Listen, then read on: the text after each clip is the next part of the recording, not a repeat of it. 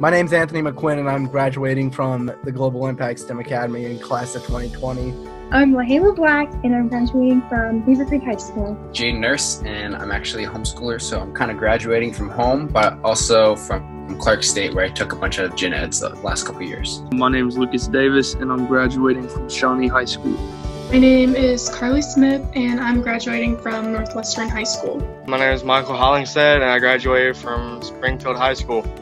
I'm Seth Potts, and I was a homeschool senior, uh, part time student at ECA, and I took a lot of CCP classes at Clark State.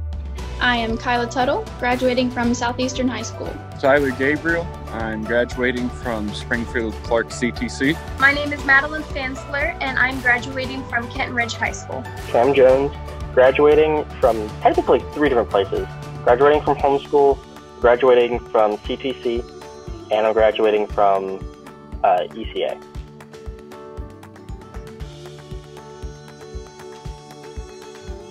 Plans for after graduation, I plan to attend Taylor University, which is in Upland, Indiana, and I'm going to be majoring in marketing and then a minor in uh, strategic communications. I will be attending Kent State University for a major in music education.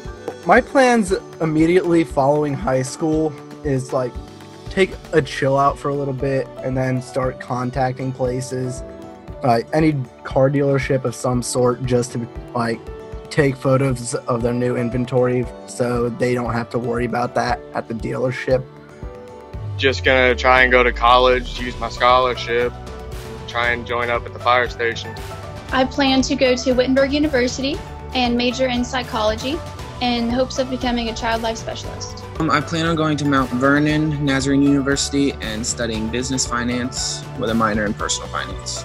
Plans after graduation are to continue to pursue my career in power sports technician. I'm attending Wright State University and I'm going in undecided. My plan right now is to take a gap year and then go to Clark State for an engineering class to get a two year certificate. I am going to continue at Clark State um, for social work. In the fall, I'm going to the University of Cincinnati to study business.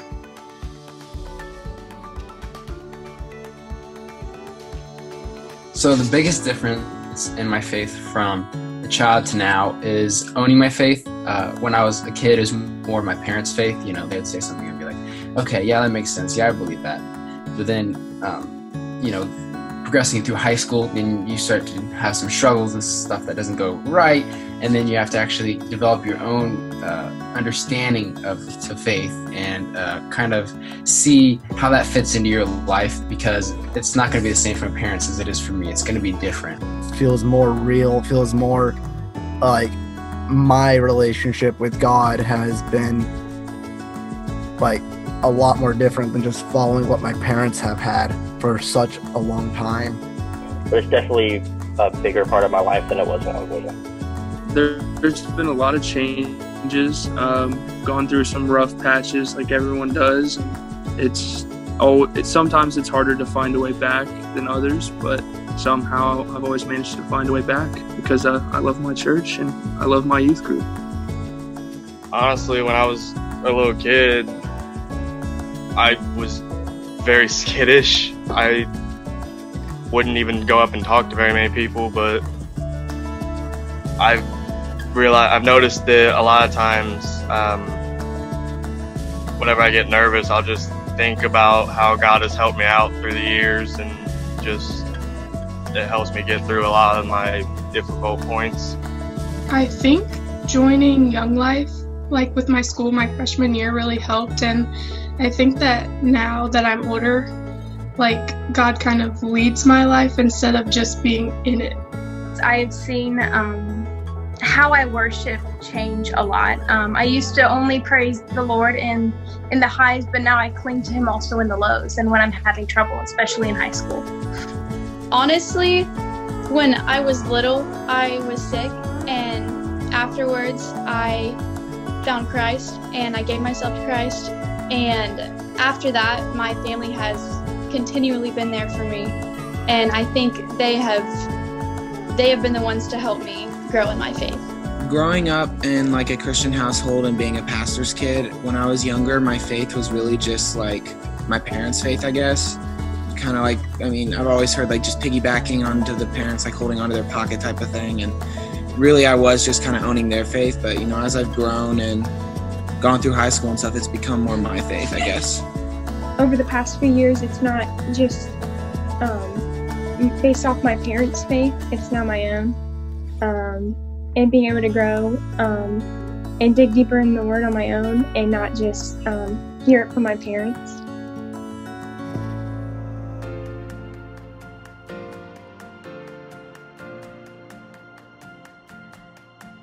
One of my favorite memories would probably have to be the uh, San Diego trip because we all connected really well and we all had a really good time and we did a lot of good things out there, but we also had a lot of fun. Some of the most fun I had was on all of the trips we've taken. Like we went to Chicago, we went to IYC and Indianapolis, and we did another missions trip in California. So all of those and just being able to spend time with friends and serve were some of my best memories. Last year, when we were in California, we had a silent walk on one of our last days to a local park, and it was just, just the silence. It was moving. OSYC, the Ohio State Youth Convention. I think it was in 2017 when I Am They, the band, was there at Maiden Lane, and it was packed, and everybody was coming together praising the Lord. It was great. So I've been able to be on the worship team quite a bit, and being able to worship and look out over the rest of the people also worshiping in the same way raising their hands um, looking up to the lord it's it's really impactful. And it's really cool to see. I'd say like one of my favorite memories is being on the tech team, like by myself in the not really by myself, but like running something by myself and being able to like command those who are running something else to I'd say just being like commander on Switcher. Uh, some of my favorite moments uh, running around the church while everybody else is setting up the living Christmas tree. we used to do that back when they had that. Uh, playing basketball after youth on Wednesday nights, and then also getting baptized was one of my favorite memories a couple years ago. So Probably when I was baptized. Uh, the one would probably have to be when I was probably like five or six, maybe seven. Dorian Byers, we were playing basketball, and he went up for a shot, and he landed right on my face with his elbow and gave me a black eye.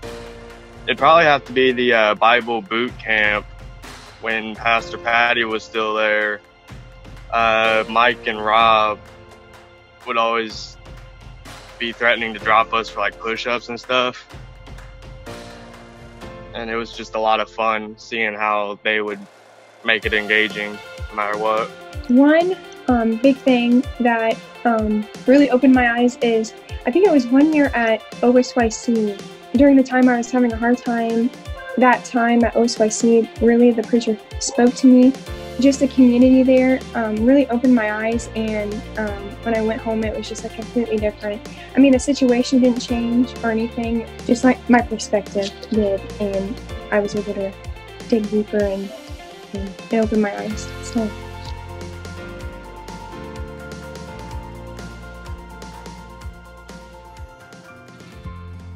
All right. So anybody who's still in student ministry, uh, take advantage of the time that you have. Uh, take advantage of the youth leaders, the youth workers, the pastors.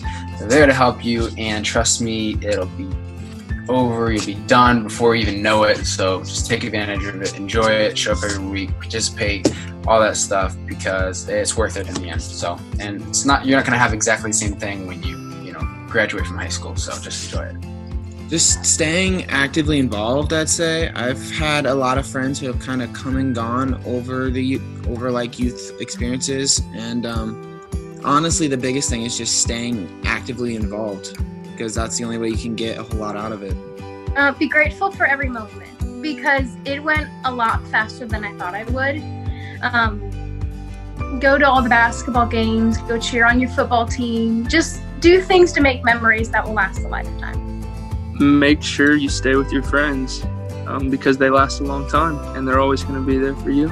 And just have fun with it too. Don't take everything too serious.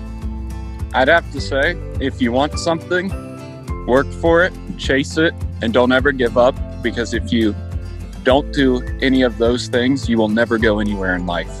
Is if I speak with human eloquence and angelic ecstasy, but I don't love, I'm nothing but the creaking of a rusty gate. So that's just like 1 Corinthians 13 1 right there.